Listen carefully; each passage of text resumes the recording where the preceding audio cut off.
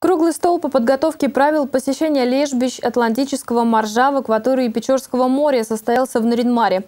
Собравшиеся обсудили вопросы организации и разработки правил посещения традиционных мест дислокации этих животных. Главная тема круглого стола – разработка и утверждение правил посещения лежбищ Атлантического моржа. Этот вид млекопитающих занесен в Красную книгу. Популяция животных была под угрозой вымирания, сейчас она восстанавливается. Но новой проблемой для пугливых моржей стали туристы и промысловики.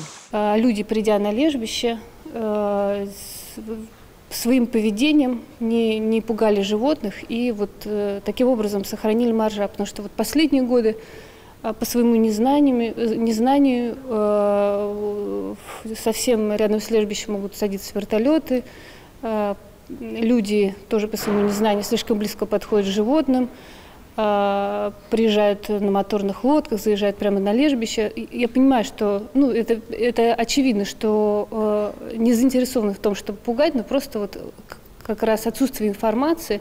Дело в том, что для своих регулярных лежбищ животные выбрали пляжи Печорского моря. Рядом находятся нефтяные разработки. Кроме того, в последнее время русская Арктика стала популярным туристическим маршрутом. Моржам такое соседство совсем не по вкусу. Поэтому, по мнению природоохранных организаций, необходимо разработать единые правила. При этом документ должен носить не просто рекомендательный характер, а должен быть утвержден на местном законодательном уровне.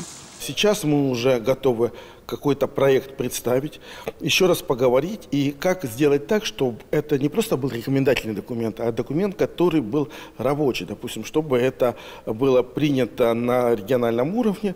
Вот обсудим, как это, собственно, кто будет выходить э, с такой инициативой.